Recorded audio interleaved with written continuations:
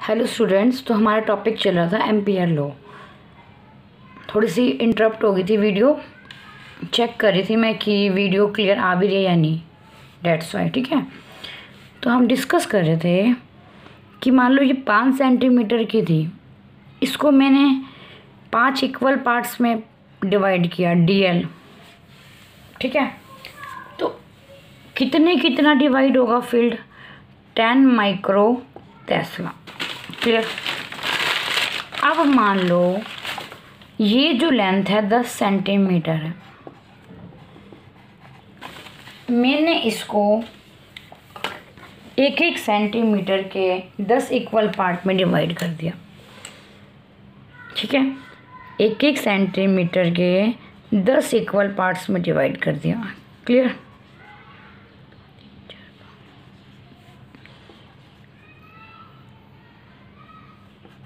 ये मान लो दस हो गए। तीन छ आठ, नौ, दस। क्लियर तो अब हर यूनिट लेंथ के पास कितना फ़ील्ड आएगा? पाँच माइक्रो टेस्ला ये बात समझ आई? अब देखो, मेरा समझाने का मीनिंग क्या है? चाहे यहाँ पे लूप है, चाहे यहाँ पे लूप है, चाहे यहाँ लूप है। ये जो करंट कैरी वायर है, वो कितना मैग्नेटिक फ़ील्ड बना रही है? Mu naught I. कितना बना रही है? Mu naught I. और वो मैग्नेटिक फ़ील्ड मैंने माना फिफ्टी माइक्रो टेस्ला। मतलब इस लूप के पास भी कितना आ रहा है फिफ्टी।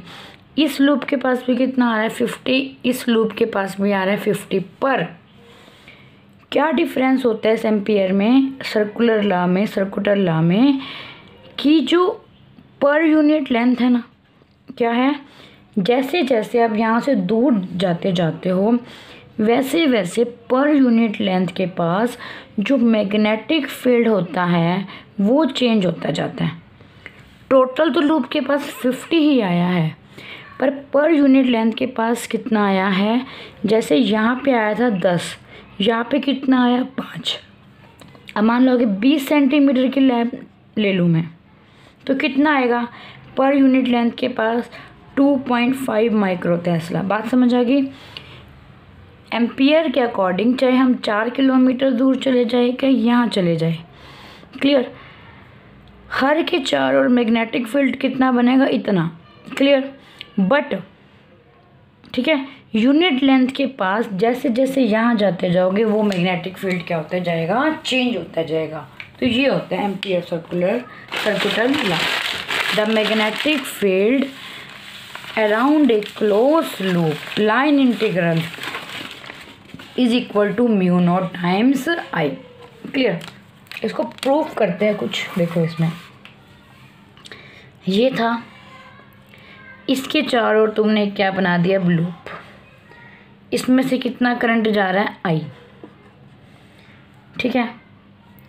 आगे समझ।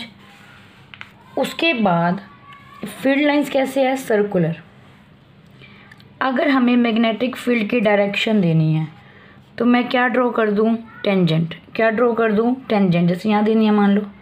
तो क्या ड्रॉ कर दूँ? टेंजेंट जो डायरेक्शन फ़ील्ड की होगी, वही डायरेक्शन किसकी होगी? डीएल की. क्लियर तो मैं क्या कहूँ यहाँ से? हम निकाल रहे हैं एम्पियर सर्कुलर लॉ से स्ट्रेट कंडक्टर के लिए मैग्नेटिक फ़ील्ड। क्या होता है वो? देखो बी डॉट डी एल किसके इक्वल होते हैं? म्यू नोट आई क्लियर मैं इसको यूँ लिख दूँ।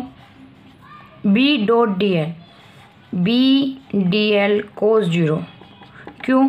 जिस डायरेक्शन में बी है, उसी डायरेक्शन में क्या है आपका डी एल तो एंगल कितना बनेगा? Zero mu naught I. देखो, ये एक वेक्टर क्वांटिटी है, ये एक वेक्टर क्वांटिटी है। इन दोनों का प्रोडक्ट हमें क्या दे रहा है? स्केलर क्वांटिटी तो यहाँ से क्या आएगा ये? B D L mu naught I. और मैंने कहा था, जैसे इस पॉइंट पे आप निकाल रहे हैं, ठीक है? अब क्या होगा? इस लूप के हर पॉइंट पे मैग्नेटिक फ़ील्ड क्या होगा? सेम क्योंकि एम्पियर ने यही कई चीज़ कही थी कि लूप क्या होनी चाहिए? सिमिट्री सिमिट्री मीन्स इसके लूप के हर पॉइंट पे फ़ील्ड क्या होना चाहिए? सेम तो बी तो क्या है? कांस्टेंट किसका इंटीग्रेशन होगा? डीएल का. किसका इंटीग्रेशन होगा आपके पास? डीएल का. क्लियर तो डीएल का इंटीग्रेशन क्या होगा? डी एल डी एल से सारे एलिमेंट मिला के क्या देंगे हमें? Two pi R. अगर मान लो इस लूप का सेंटर से रेडियस कितना है? R. Clear? Mu naught I. तो हम क्या कह सकते हैं? इनफाइनाइट लॉन्ग वायर के लिए मैग्नेटिक फ़ील्ड क्या आएगा? किसी पॉइंट पे mu naught I two pi R. Clear mu naught I two pi R ठीक है? थैंक यू सो मच तो हम नेक्स्ट टॉपिक लेंगे. Proof of the Ampere circular law clear thank you so much have a nice day.